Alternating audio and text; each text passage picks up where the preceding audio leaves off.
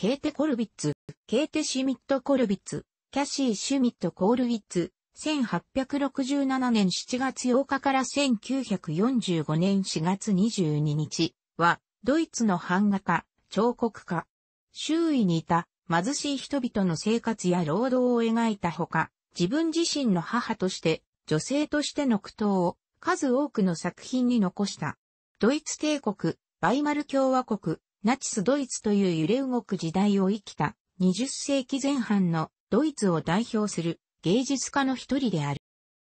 彼女は1867年、東プロイセンのケーニヒスベルク、現在のロシア領カリーニングラードで、左官屋の親方である父カール・シュミット、母ケーテループの間に生まれた。彼女は父の仕事場にいた職人から絵や銅版画を学び、父は17歳になった彼女をベルリンへ絵の勉強に行かせた。この時期、彼女はマックス・クリンガーなど、ベルリン分離派の画家、版画家たちの響きを強く受けた。彼女は学業を終え、ケーニヒスベルクに戻ったが、再びより芸術的な環境を求め、ミュンヘンに向かい、フランス印象派絵画などの影響を受ける一方、版画やスケッチが自分に向いていると考えるようになる。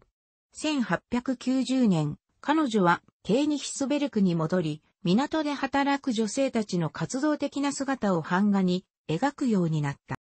1891年、兄の友人で健康保険医のカール・コルビッツと結婚した彼女はベルリンの貧民街に移った。彼女は生涯描き続けた自画像に取り組む一方、スラムに住む彼女の周りの住民たちや夫の官たちに強い印象を受け、貧困や苦しみを描くようになる。彼女は1897年にゲアハルト・ハウプト満作の仮想階級の人々を描いた戯曲、折匠、大ウェーバー、1892年を見た印象から制作した最初の版画連作、折匠、食行の放棄を発表し、一躍脚光を浴びる。批評家からは絶賛を浴びたが、当時の芸術家のパトロンたちにとっては難しい題材であった。彼女はベルリンの大展覧会、グロザ・カンスタウステレオンで金メダルにノミートされたが、皇帝ビルヘルム2世は受賞に対する許可を与えなかった。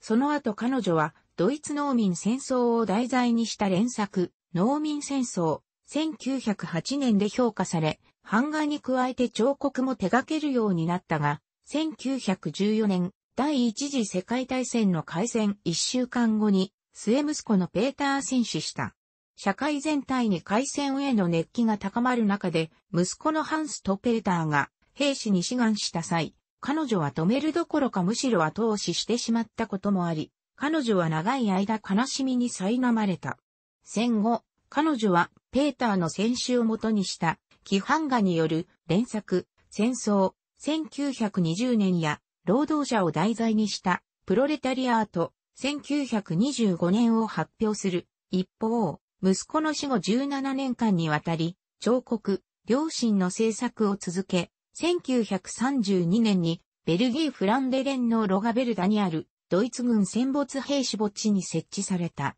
後に、ペーターの葬られた墓地は、近くのベラッツロに移転し、彫刻も移転している。彼女は、その他、激戦地だったベルギーランゲマルク、ロンマークの墓地のために4人の黙祷する兵士の造成作している。彼女は1919年、女性アーティストとして初めてプロイセン芸術院の会員に任命され、1929年にはプールルメリット勲章を受章するなど、第一次世界大戦後の国家や社会の各層から高い票を受け、多くの人々から親しまれた。一方で、社会主義運動や平和主義運動にも関与し、カール・リープクネヒトツ翼像の制作や、ドイツ革命後わずかな間存在した、社会主義政府の労働者芸術儀に参加するなどの活動を行っている。1933年、ナチ党の権力掌握とともに、大敗芸術の排斥が始まった。彼女も反ナチス的な作家とされ、芸術院会員や教授職から去るように強制された。彼女は最後の版画連作、死及び母と死んだ息子を題材にした彫刻、ピエタ1937年を制作するものの、1930年代後半以後は、展覧会開催や作品制作など芸術家としての活動を禁じられた。宣伝賞は人気のあった彼女の作品を大敗芸術展では展示しなかったものの、逆にいくつかの作品をナチスのプロパガンダとして利用している。彼女の夫は1940年に病死し、孫のペーター、長男、ハンスの息子は東部戦線で1942年に戦死した。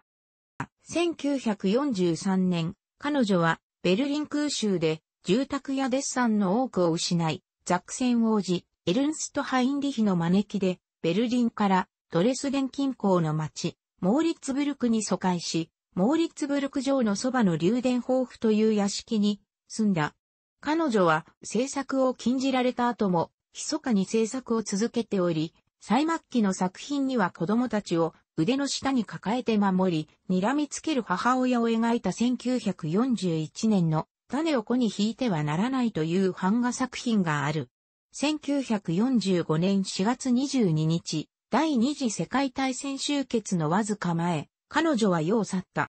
ケーデ・コルビッツのピエタは、1993年、ベルリンのノイエバッヘ国立中央戦争犠牲者追悼所内部の中央に設置されている。日本において見られる彫刻作品には、恋人たち、E、愛知県美術館などがある。沖縄のスキキマ美術館に連作版画の戦争、農民戦争、種がコレクションされている。楽しくご覧になりましたら、購読と良いです。クリックしてください。